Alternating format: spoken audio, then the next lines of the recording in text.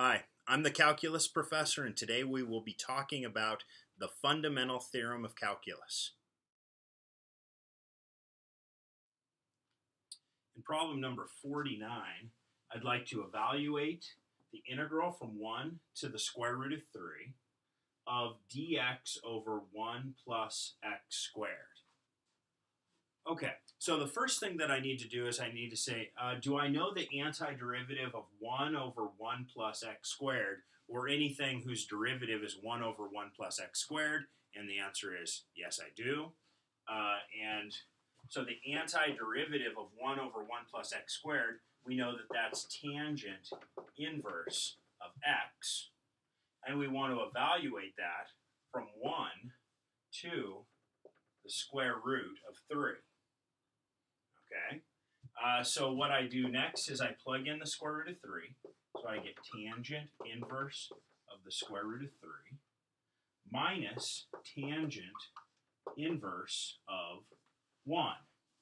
Now, the way I think about these guys is if I have tangent inverse of square root of 3, then what I really want is I want to know, is there any angle whose tangent gives me the square root of 3. And if you're in doubt, then you can uh, play with it a little bit. You could consult a table and figure it out that way. Uh, this one I know off the top of my head, tan inverse of 1, whose tangent is 1? Well, pi over 4, right? So this guy's pi over 4, but what's this guy? Uh, well, let's see. What if we had tangent of, let's say, pi over 3? Well, tangent of pi over 3 is tan, uh, I'm sorry, it's sine of pi over 3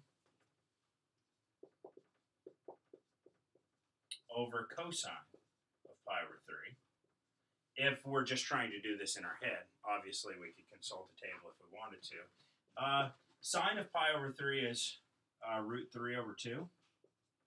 And cosine of pi over 3 is a half, which is square root 3 which is perfect. So what we're really looking for, tan inverse of root 3, what angle's tangent is root 3? It's pi over 3. So now we're ready to write this in. Uh, and we get that tan inverse of root 3 is pi over 3 minus tan inverse of 1 is pi over 4.